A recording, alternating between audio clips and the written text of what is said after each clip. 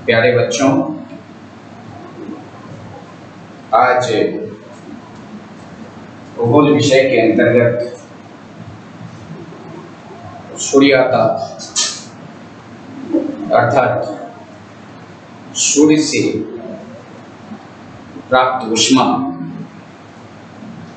जिसको हम सौर विकिरण के नाम से जानते हैं। उसके बारे में सामान्य जानकारी प्राप्त करेंगे। आज हम सभी जानते हैं कि उष्मा का प्रधान स्रोत सूर्य है। सूर्य ही, सूर्य से ही प्राप्त उष्मा जिसको हम सौर विकिरण के नाम से जानते हैं, जिसको हम सोलर सोलर रेडिएशन के नाम से जानते हैं। ये सूर्य से ही प्राप्त होता है। यानी उष्मा का अजस्त तापमान का स्रोत सूर्य ही है। चले आज हम इस सूर्याताप के बारे में और विस्तार से समझने की कोशिश करें। सूर्याताप सूर्य से प्राप्त तापमान, सूर्य से प्राप्त उष्मा को हम सूर्याताप कहते हैं।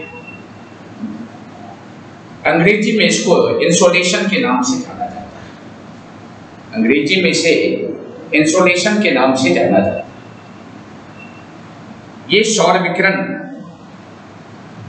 जो सूर्य से हमें पृथ्वी को प्राप्त होता है, अगर इस पर हम गौर करें तो केवल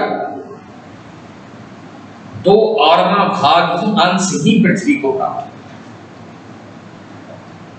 बेटे, ये भी समझने की आवश्यकता है कि सूर्य के केंद्र में, सूर्य के केंद्र में कितनी उष्मा है?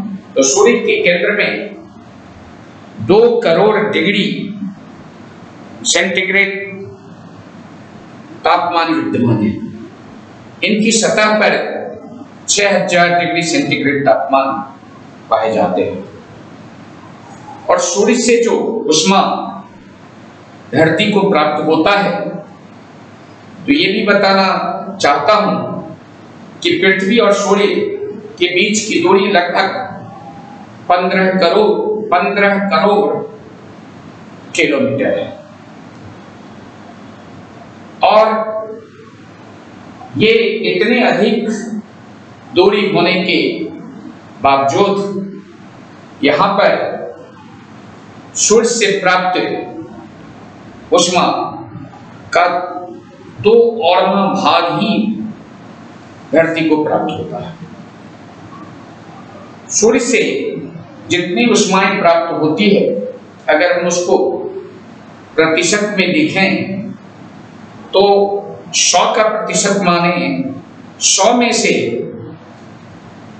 केवल इक्यावन प्रतिशत भाग ही धरती को प्राप्त होता है, इस पृथ्वी को प्राप्त होता है। उनचास प्रतिशत भाग इस उष्मा का अंतरिक्ष एवं विभिन्न गैसों के मिश्रण या धूलकण बादल जलवाष्य आदि के द्वारा मार्ग में ही नष्ट हो जाता है।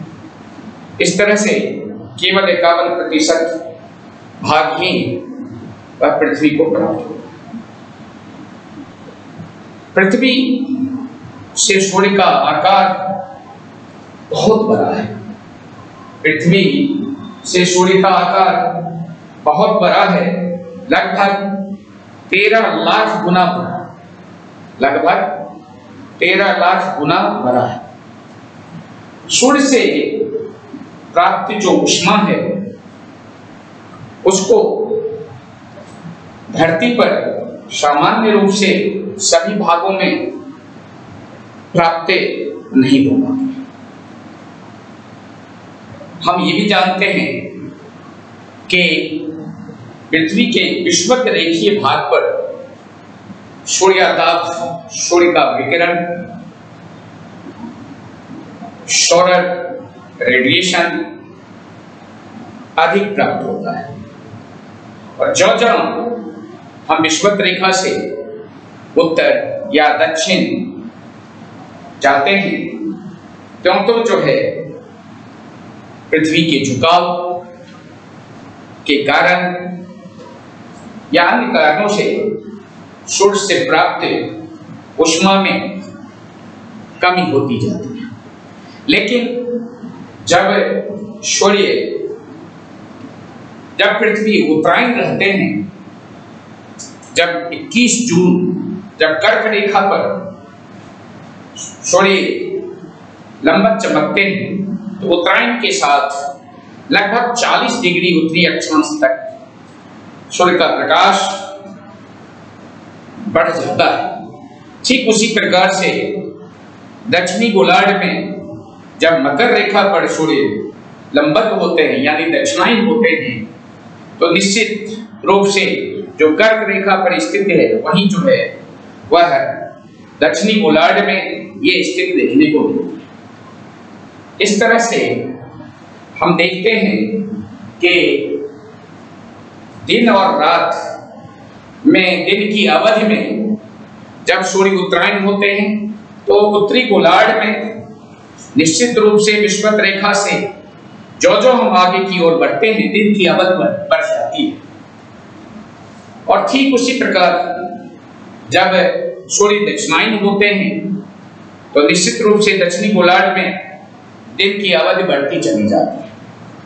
इसको हम इस डाटा से भी समझ सकते हैं। जैसे विश्वत रेखा विश्वत रेखा पर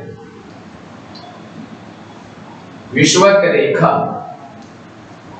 यानी ज़ीरो डिग्री अक्षांश, ज़ीरो डिग्री अक्षांश पे ये हम जानते हैं कि अक्षांश पे दिन की अवधि कितनी की होती है? दिन की आबादी। देव की आबादी। ये बारह घंटे का है। कितने? बारह घंटे का है। ठीक ठीक उसी प्रकार से अगर हम देखें तो सत्रह डिग्री ये कब होता है? जब सूर्य उत्तरायण होते हैं। ये कौन सी को जब सूर्य उत्तरायण होते हैं, उत्तरी गोलार्ध में? ज़ीरो डिग्री अक्षांश पर तो बारह घंटे का दिन तो होता ही है, जो कि ज़ीरो डिग्री अक्षांश यानी विश्वत रेखा, भूमध्य रेखा। विश्वत रेखा, भूमध्य रेखा पर दिन रात समान होते हैं। बारह घंटे के दिन और बारह घंटे की रात होती है। लेकिन जब सूर्य उत्तरायण होता है तो उत्तरायण होने के बाद उत्तरी गोलार्ध में धीरे धीरे जो है, दिन की अवधि बढ़ती चली जाती है, अक्षांश के हिसाब से। तो ज़ीरो डिग्री अक्षांश रेखा पर बारह घंटे फिर उसी प्रकार से हम देख तो सत्रह डिग्री उत्तरी अक्षांश ये दिन की अवधि कितना हो जाते हैं? तेरह घंटे का होता है। कितना? तेरह घंटे। फिर उसके बाद अगर 41 डिग्री उत्तरी अक्षांश पर क्या होता है? 41 डिग्री उत्तरी अक्षांश पर जो है दिन की अवधि कितनी हो जाती है? 15 घंटे। 15 घंटे। ठीक है? फिर आगे चल करके हम देखते हैं, उनचास डिग्री पर कितना होता है? उनचास डिग्री पर ये अक्षांश पर की अवधि कितनी हो जाती है? 16 घंटे। कितना? 16 घंटे का। फिर आगे चल करके हम देखें तिरसठ डिग्री। तिरसठ डिग्री उत्तरी अक्षांश पर जो है, दिन की अवधि कितना हो जाते हैं? देखें 20 घंटे। 20 घंटे। फिर नेक्स्ट अगर हम देखें तो साढ़े छियासठ डिग्री। साढ़े छियासठ डिग्री। उत्तरी अक्षांश पर जो है, दिन की अवधि हो जाते हैं? चौबीस घंटे। कितने? चौबीस घंटे फिर अगर हम आगे बढ़ते हैं तो साढ़े सड़सठ डिग्री सड़सठ डिग्री। सड़सठ डिग्री इकतीस मिनट पर दिन की अवर कितने हो जाते हैं? एक माह एक महीना। एक महीने का दिन होता है। फिर आगे चल करके हम देखें तो सत्तर डिग्री, ग्यारह मिनट पर सत्तर डिग्री ग्यारह मिनट पर इसी दिन की अवधि कितने हो जाते हैं? चार माह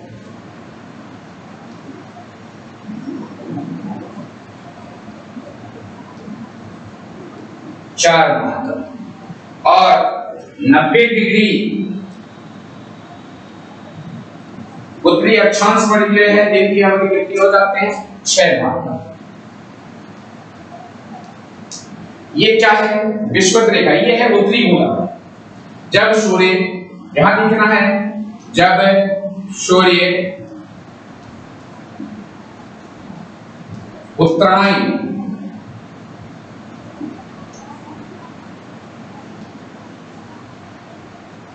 होते हैं तो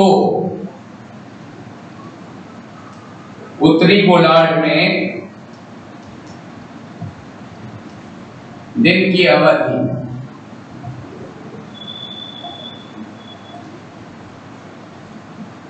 दिन की अवधि।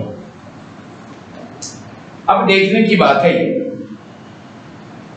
ठीक जब सूर्य दक्षिणायन होते हैं, यानी मकर रेखा पर गुजरते हैं, फिर दिन की अवधि जो है 40 डिग्री पर सूर्य का प्रकाश जो है, सौर विकिरण जो है 40 डिग्री तक अधिक देखने को मिलता है।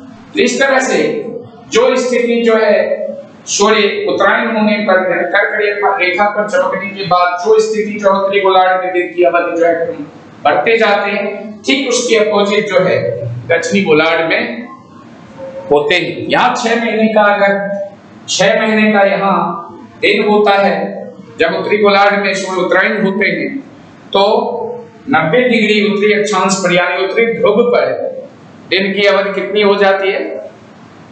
छह माह का, छह माह का हो जाता है। ठीक? इसके अपोजिट जो है, दक्षिणी ध्रुव, यानी नब्बे डिग्री दक्षिणी अक्षांश पर जो है छह महीने का रात हो जाता है। तो इस तरह से दिन की अवधि अक्षांशों की दृष्टि से बढ़ता चला जाता है।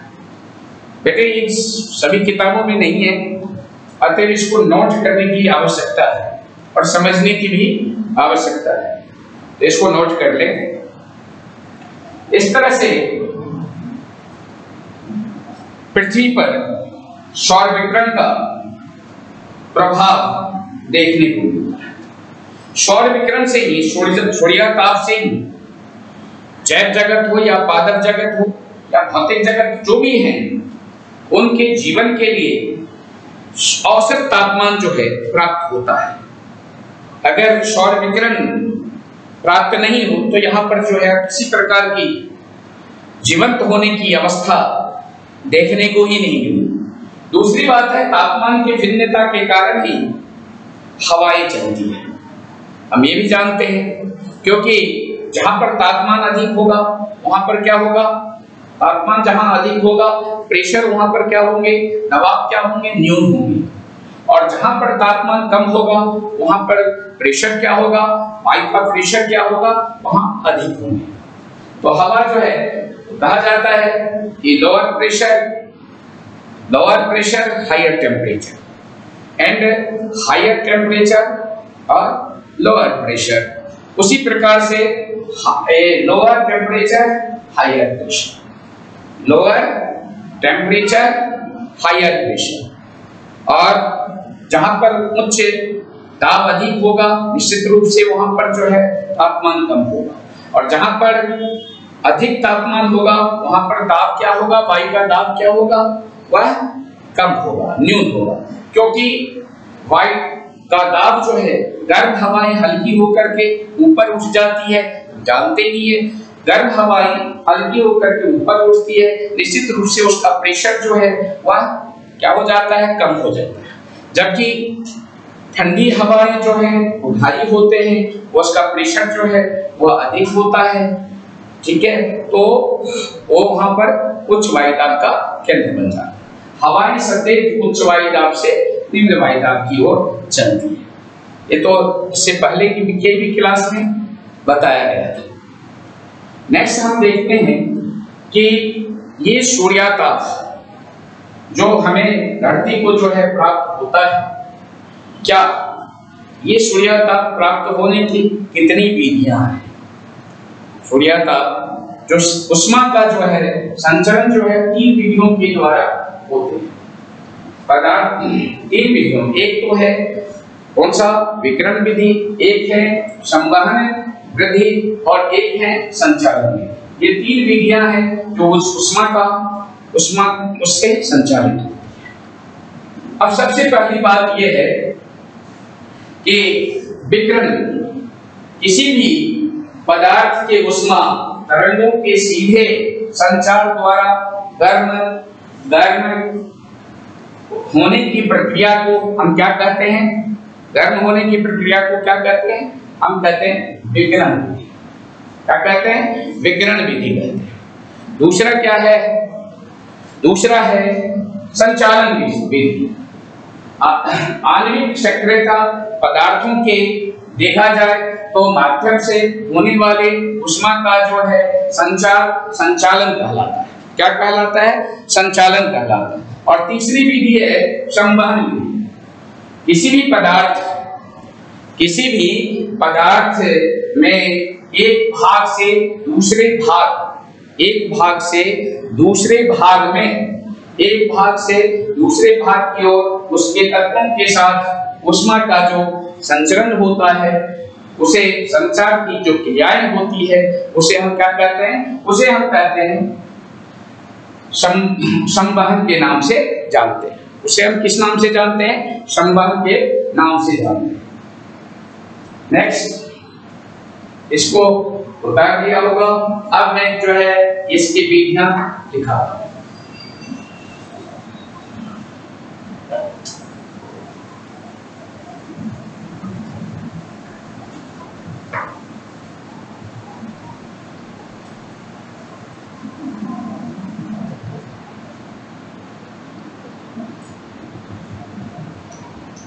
सभी पदार्थों की भातिक वायु भी वायु भी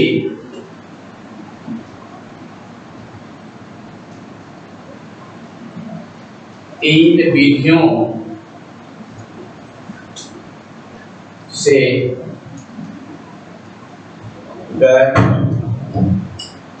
होती है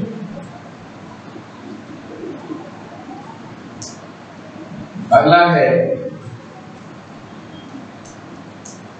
पहला जो है इसको हम कहते हैं विकिरण भी।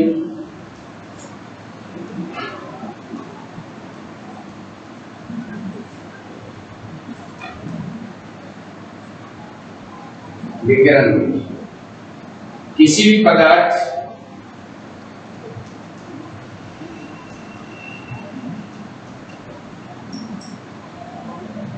पदार्थ के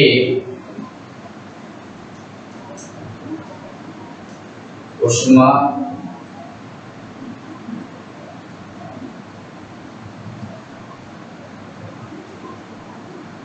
उष्मा तरंगों के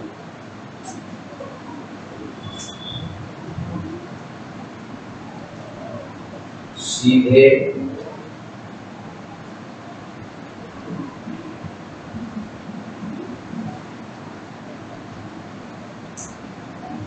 संचार। द्वारा। गर्म होने की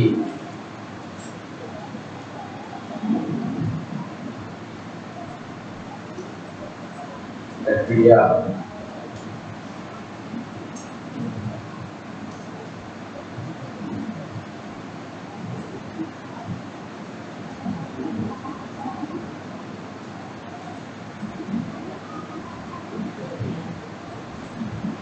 दूसरा है। दूसरा संचालन की।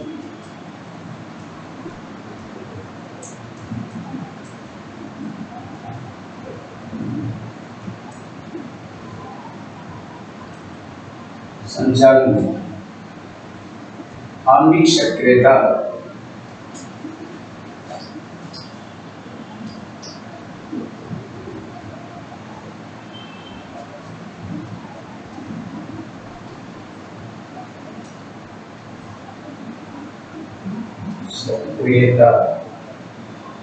सक्रियता पदार्थों के माध्यम से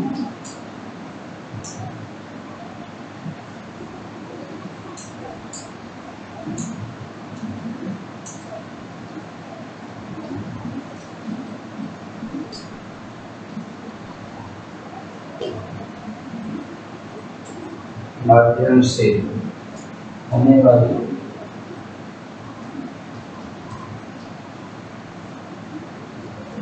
ऊष्मा के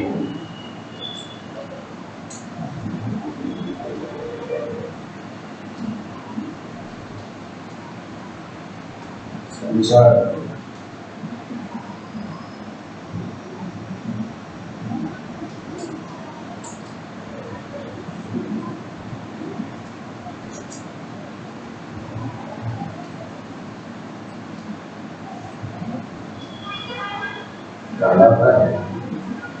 नेक्स्ट है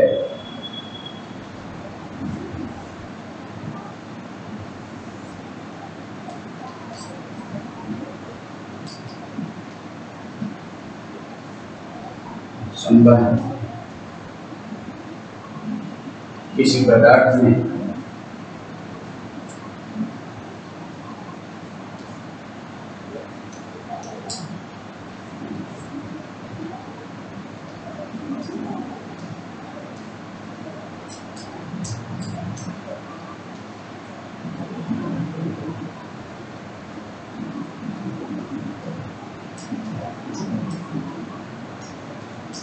दूसरे भाग में, एक भाग से दूसरे भाग की ओर।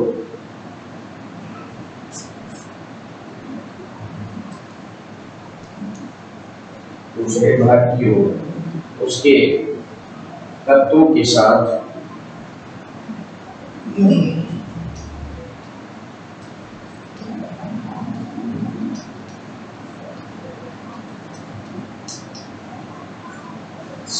उसके तत्वों के साथ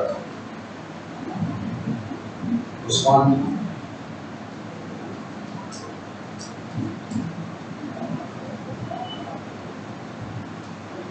संचार किया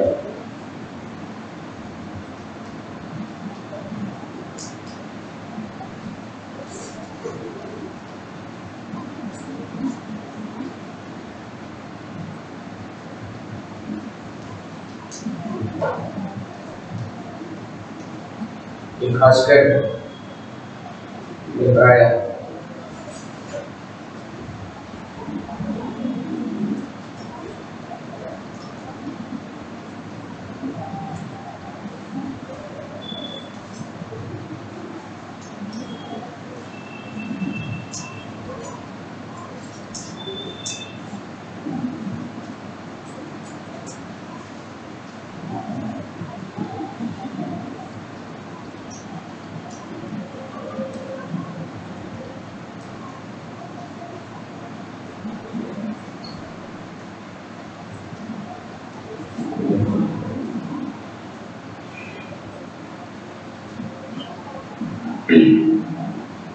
सभी पदार्थों की बात वायु भी तीन विधियों से उष्मा किसी सभी पदार्थों की बात वायु भी तीन विधियों से गर्म होती है। सभी पदार्थों की बात वायु भी कितनी विधियों से? तीन विधियों से गर्म होती है। पहला है विकिरण विधि। पहला क्या है? विकिरण विधि। किसी भी पदार्थ के उष्मा तरंग के सीधे संचार द्वारा किसी भी पदार्थ के उष्मा तरंगों के सीधे संचार द्वारा गर्म होने की प्रक्रिया को हम क्या कहते हैं? विकिरण विकिरण विधि कहते हैं। किसी भी फिर से सुनो। किसी भी पदार्थ की उष्मा तरंगों की सीधे संचार द्वारा गर्म होने की प्रक्रिया को हम क्या कहते हैं? विकिरण विधि कहते हैं। दूसरा है संचालन विधि। आणविक सक्रियता पदार्थों के माध्यम में होने वाली उष्मा का संचार, संचालन कहलाता है। क्या कह एक बार और आणविक सक्रियता पदार्थों के माध्यम से होने वाली उष्मा के उष्मा उष्मा के संचालन संचालन कहलाता है। और तीसरा है आपके संवहन। किसी पदार्थ में एक भाग से दूसरे भाग की ओर उसके तत्वों के साथ उष्मा की संचार की क्रिया संवहन कहलाता है। ये प्रायः तरल और गैसों में अधिक देखने को तरल और गैसों में ही प्रायः इस तरह से जो है उष्मा वायु जो है गर्म करने की ये तीन विधियाँ है। ठीक है? इसको भी नोट कर लो।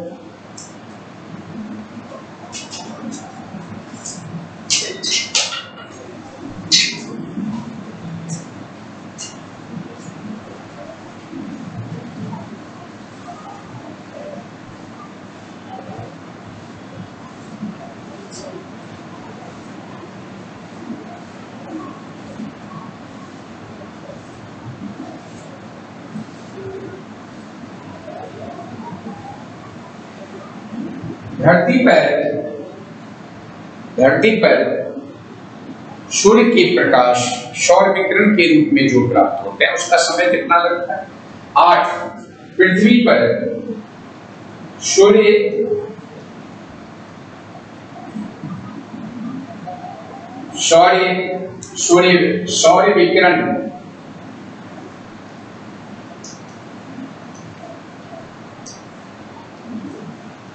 द्वारा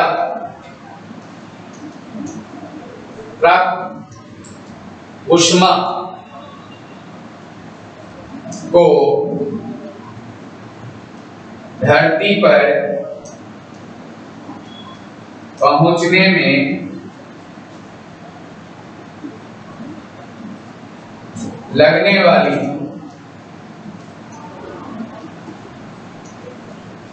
समय कितना लगता है समय? आठ मिनट।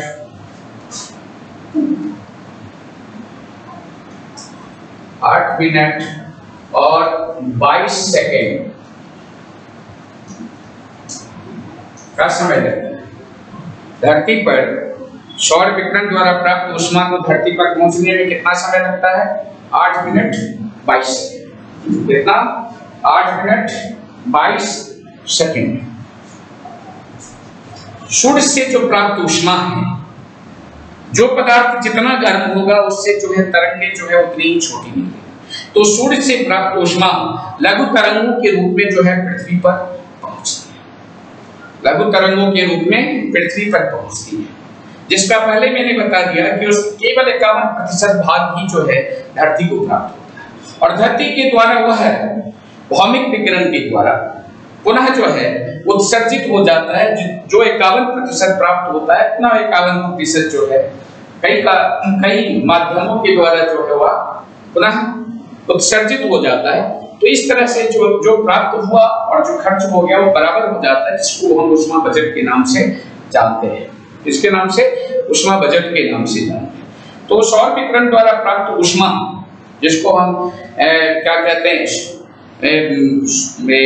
सोलर रेडिएशन के नाम से जानते हैं, प्राप्त जो उष्मा है, जो लघु तरंगों के रूप में धरती को प्राप्त होता है। और धरती के द्वारा, क्योंकि उससे वायुमंडल क्या होता है? पारदर्शी। और जब धरती गर्म होती है, पृथ्वी गर्म होती है तो पृथ्वी से जो विकिरण पुनः उत्सर्जित होता है, जिसको हम पार्थिव विकिरण कहते हैं। तो निश्चित रूप से पार्थिव विकिरण जो है, धरती से निकलने वाली जो तरंगे हैं, जो उष्मा तरंगे हैं, वह कौन से लघु नहीं, बल्कि दीर्घ तरंगे कहलाती तो जो मोटा मोटी रूप में ये समझना है कि जो पदार्थ जितना गर्म होगा, उससे जो तरंगे निकलेगी, वो लघु तरंगों के रूप में निकलेगी, और जो पदार्थ जितना कम गर्म होगा, उससे जो तरंगे निकलेगी वह दीर्घ तरंगों में निकलेगी।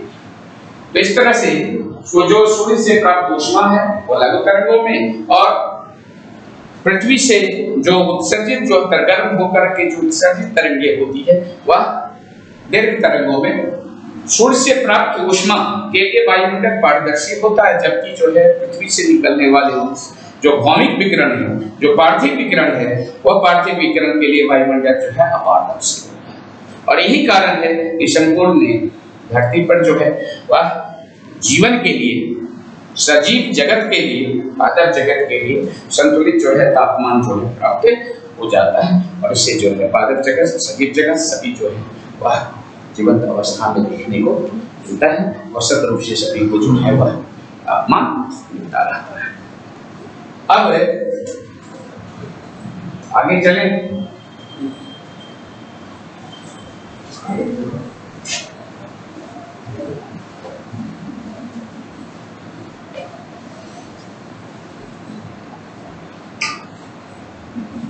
ठीक है बच्चे, आगे जो है नेक्स्ट क्लास में आपको जो है इसके और विस्तार से समझाने के प्रयास करेंगे।